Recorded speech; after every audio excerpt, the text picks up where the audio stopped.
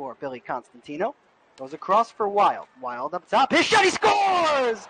Bode Wilde! And the Gladiators take the 1 to nothing lead with 3.14 to go here in the first. And Bode Wilde with his first point back with the Gladiators since returning off the IR. As we take a look at the replay, shot came in from the point. Just snuck through LaFontaine. Gladiators open up the scoring. Bode Wilde doing it all himself, comes right back to him, he scores! Bode Wilde, his second goal of the game, and the Gladiators lead 2-1. Bode Wilde would not be denied on that shift. We'll take a look at the replay. Here's the goal. Wilde right in between the circles, had time and space to do whatever he wanted, and wristed a shot past LaFontaine. This is Mike Pellet controlling. Sang Hoon Shin trying to help out. Sylvester shot! He scores!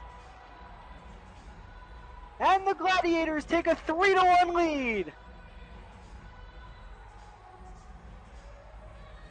With 2.06 to play here in the second period, as we take a look at the replay, Sylvester just picked up that puck. A sweet Selly from number 16.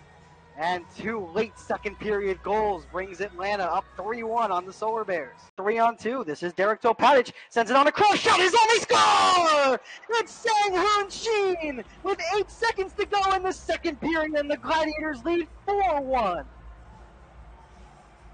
Gladiators coming to play late in this second period, and what a pass by Derek Topatigh right onto the stick of Sang Hoon. Here, skating in three on two. This is Fornaris. He shoots, he scores!